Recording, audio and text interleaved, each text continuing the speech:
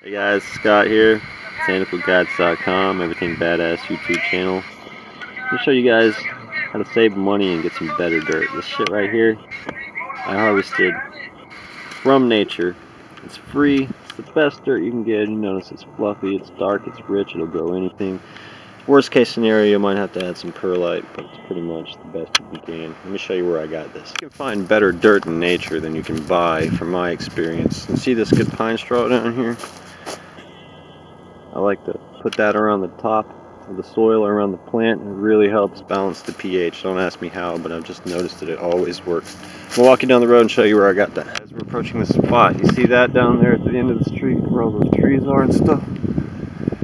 Well, those leaves and all that stuff naturally fall down here. Natural process. And they land on the asphalt on the end of the street.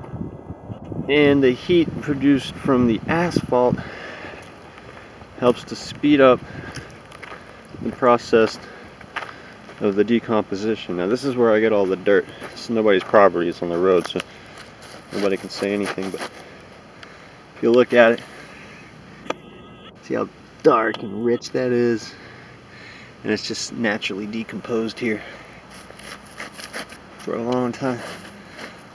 You can see it. Everything that I have every plant you've seen in the, every video I've made on YouTube is grown in this dirt right here. It's all free, it's all natural, it's the best stuff. I've tried just about anything and everything there is from organic soils. Even, Miracle-Gro is the absolute worst, even if it's organic. Even if you add perlite, it's just too compact. It's just like mud. It, it don't work. Uh, I'd suggest adding a little bit of perlite, but most of the plants I have don't even need anything, so but yeah, guys, just look around outside. You can find your own dirt for free, save money. It's way better. You know it's good. It's organic. I'm Scott, Everything Badass YouTube channel, botanicalguides.com. Thanks, guys. Please subscribe if you enjoyed the video or if you found it helpful. Appreciate y'all. Peace out.